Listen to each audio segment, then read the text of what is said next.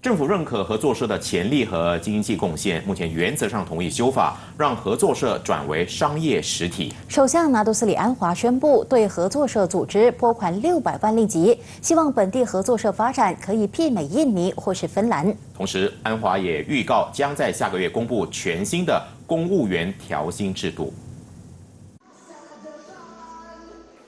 安华今早在世贸中心为大马合作社组织召开的本年度全国合作社大会主持闭幕仪式。他致辞时大篇幅提起合作社对我国经济增长扮演的重要角色，而且人才济济，从会员人数到收益规模日渐壮大，合作社前景一片光明。但欠缺的是法律地位认可，这一点也是合作社组织诉求之一。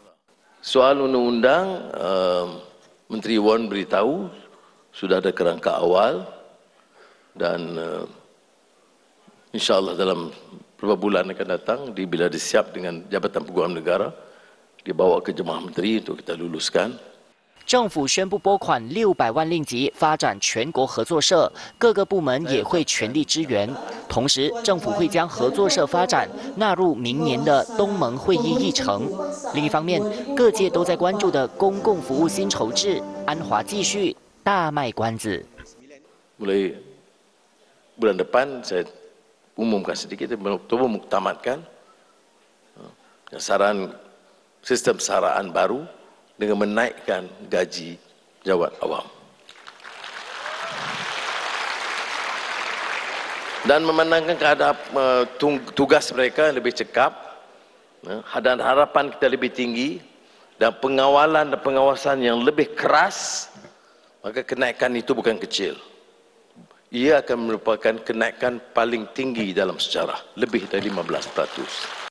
安华坦言，虽然令吉汇率、通货膨胀率、失业率等等数据都已经改善，但他明白生活成本依然居高不下，所以单单看数据，安华不满意。Itu di antara angka-angka yang baik. Tapi apakah kalau saya tanya saya, apakah saya puas hati? Saya tidak puas hati.